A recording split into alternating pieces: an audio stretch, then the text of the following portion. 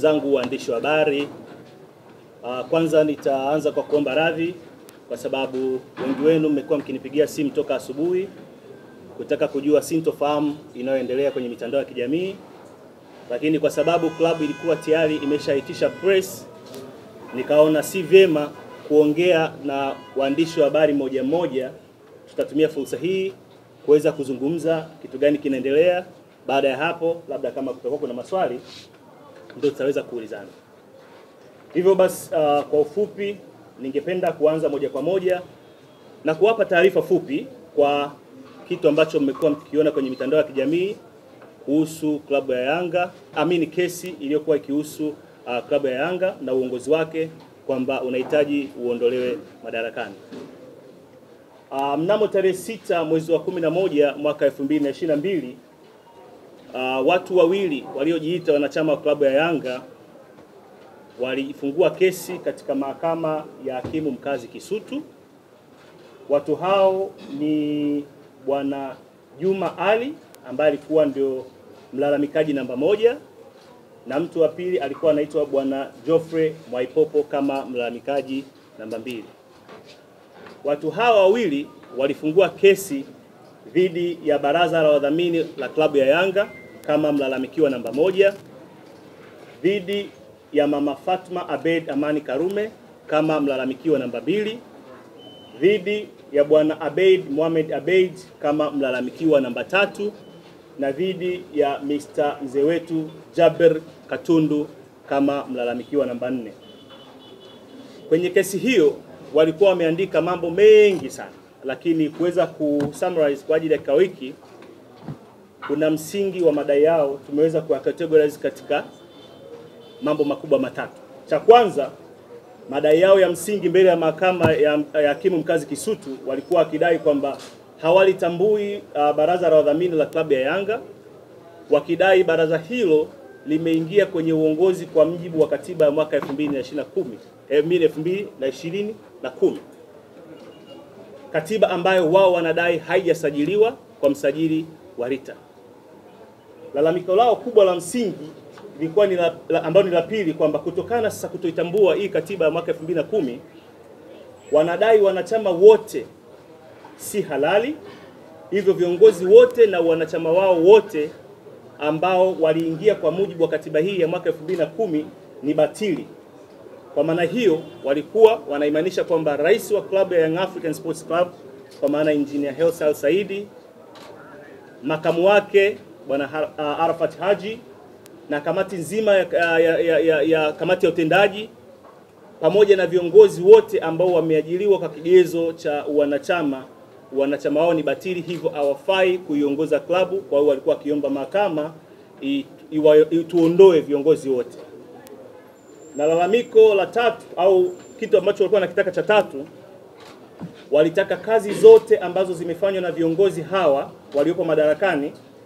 zitambuliwe kama kazi batili na hivyo waletewe ripoti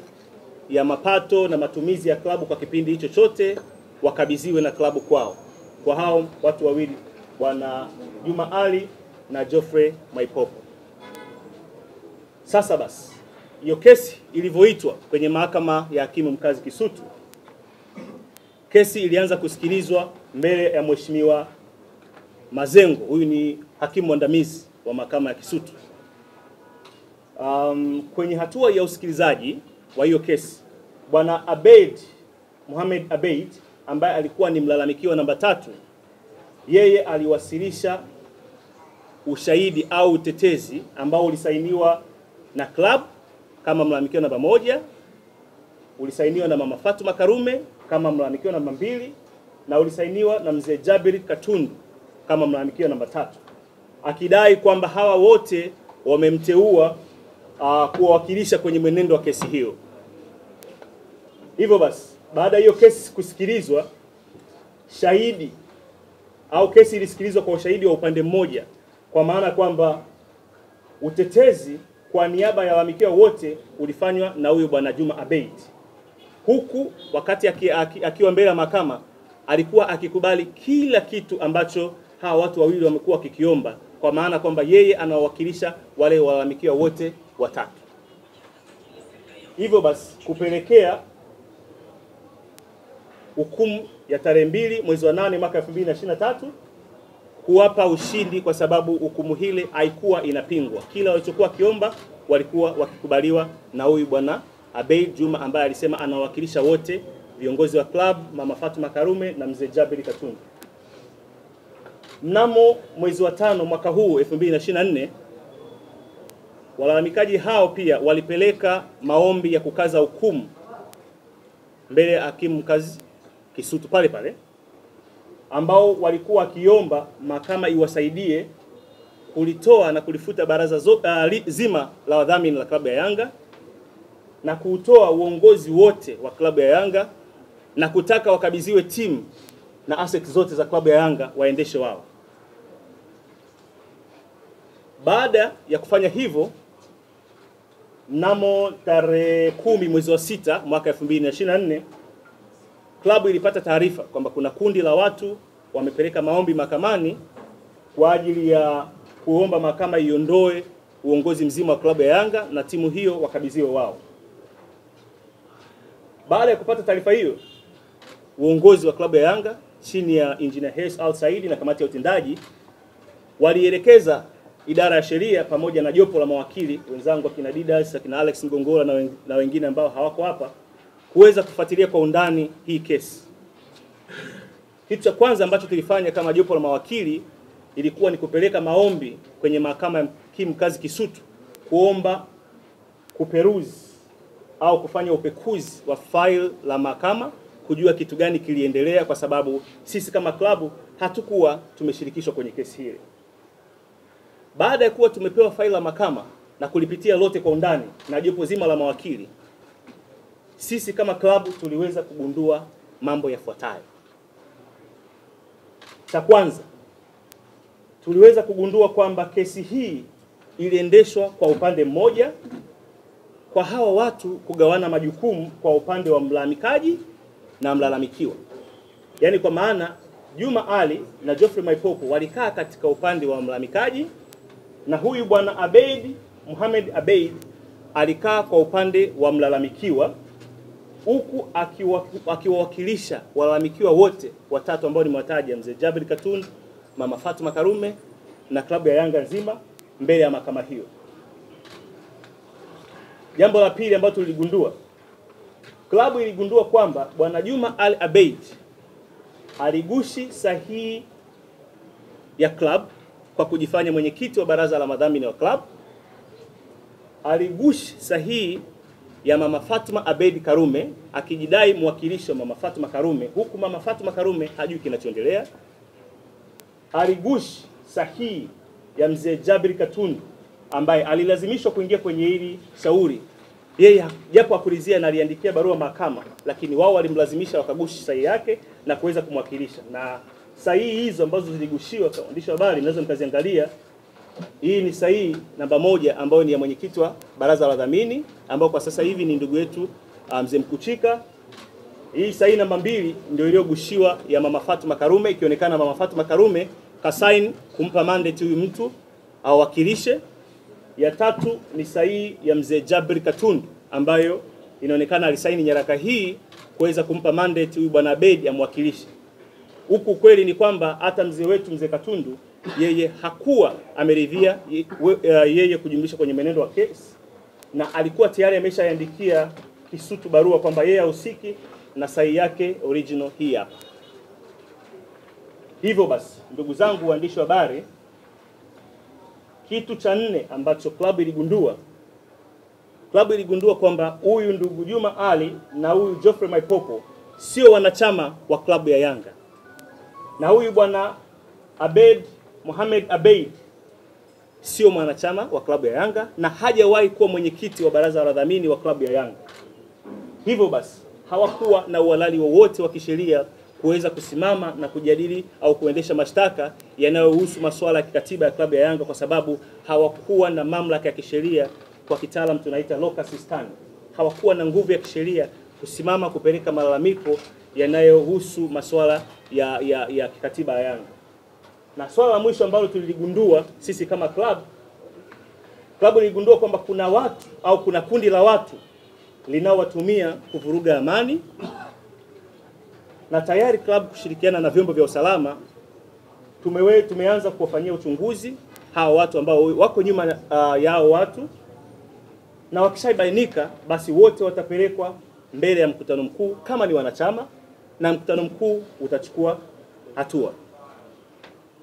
Baada ya hapo sasa, ndugu waandishi wa habari, nini sisi kama klabu ya Yanga tulikifanya baada ya kuwa tumegundua haya? Kwa sababu sasa masuala ya ya ya ya, ya, ya, ya kesi ni mchakato wa kimahakama, idara ya sheria ikishirikiana na jopo la, la, la, la wanasheria wake wote tuliweza kufanya yafuatayo na tunapanga kufanya yafuatayo. Cha kwanza, jopo la wanasheria wa klabu ya Yanga wameshapeleka maombi mahakamani kuomba kuongezewa muda wa kuomba kufanya mapitio ya kesi. Kama mnavyokumbuka, hii kesi iliamuliwa mwaka 2013. Sisi kama klabu hatukuwa tunajua kinachoendelea na muda wa kukata rufaa au kuomba mapitio umeshapita. Kwa hiyo kitu cha kwanza ambacho jopo la, la, la wanasheria wa Yanga tumefanya ni kuomba kupeleka maombi ya kuomba kuongezewa muda wa kufanya mapitio, na maombi hayo yashapelekwa mbele ya mahakama ya hakimu mkazi Kisutu na muda wote kuanzia kesho tutaitwa kusikiliza, na tuna imani mahakama itatendea haki, itatongezea muda kwa sababu hatukuwa tumeshirikishwa. Jambo la pili ambalo tutafanya baada ya kuwa tumeongezewa muda, klabu itapeleka maombi ya kufanya mapitio upya ya hiyo kesi, kwa sababu kama nilivyoambia hapo awali, sisi kama klabu hatukuwa tumeshiriki na hao watu waliohusika hawakuwa na, na, na hadhi au na uhalali wowote wa kisheria kufanya walichokifanya, na cha mwisho pia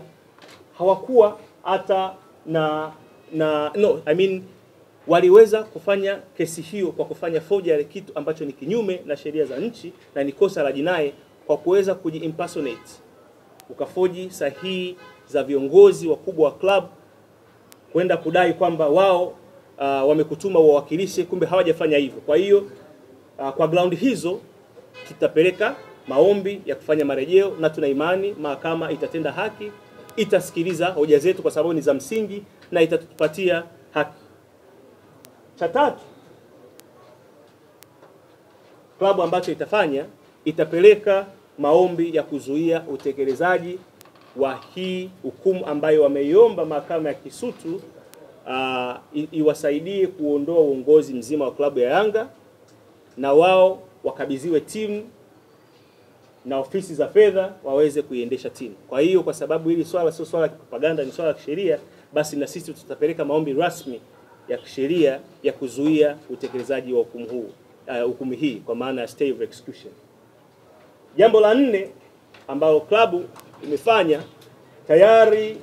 tumeshawasiliana na mama yetu kiongozi wetu kipenzi cha wanayanga mama Fatuma Karume na mzee wetu mzee Jabri Katundu ili kusudi waweze kushirikiana na uongozi wa Yanga kuweza kufungua kesi ya jinai kwa kugushi sahihi zao kinyume na matakwa yao na wao bila kufahamu kitu gani kinaendelea. Kwa umeelewa ndugu yangu Ali? Hii ni moja ya kitu ambacho klabu ya Yanga tumejizatiti kufanya kabisa, kwa sababu hiki si kitu kizuri kwa jamii yetu. Na jambo la mwisho ni kwamba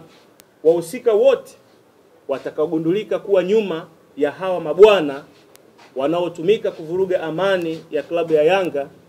uongozi wa klabu ya Yanga chini ya Engineer Hersi Al Saidi umeelekeza kwamba baada ya uchunguzi kuwa umefanyika tukaweza kuwabaini hawa watu,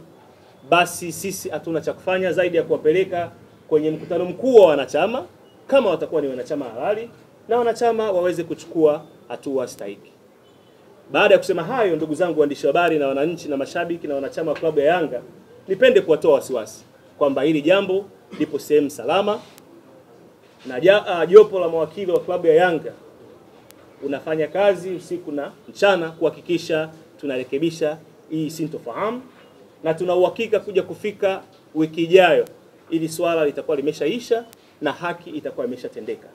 Baada ya kusema hayo, ndugu yangu Ali Shabani Kamwe, naomba nirudishe kijiti kwako.